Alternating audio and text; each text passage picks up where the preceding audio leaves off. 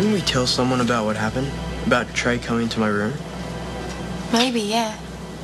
I mean, what if he's flipped it? Maybe we should tell his mum. Trey Palmer, where's his room? Just down the hall, roommate.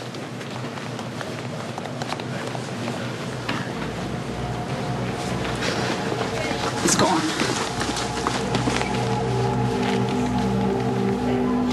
Okay, could have been killed. I am okay.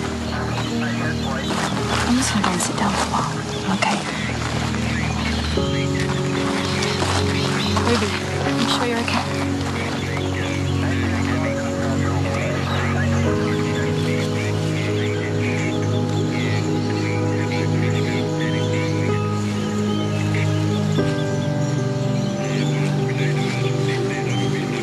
Guys, don't worry, we're gonna get Trey. We've already sent a unit down to the hospital to pick him up. Gonna pay for this?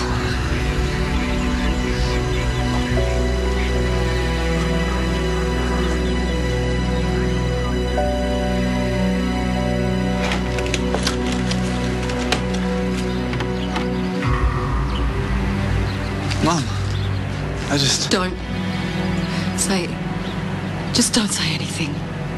I need the car keys, Mum. No, you don't. You're coming with me. Mum, please. Just I shut up and do as you're told. This is Hugo Austin, 28. What are the casualties? Mum. Please, do something, please. It's okay, love, it's okay. It's okay. Let them do this. Oh, Grandad, I can't lose him. Are you okay, mate?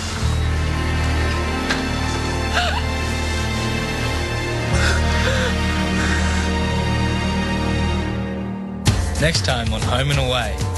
I don't even know, could he die? Let's just take things one step at a time from here. This is all my fault. I was weak. I let Trey down. Trey's gonna pay for this. I'll make sure of it, whatever it takes. I'm just trying to help you, Xavier. We don't even know if my brother's gonna make it through his surgery. Do you get that?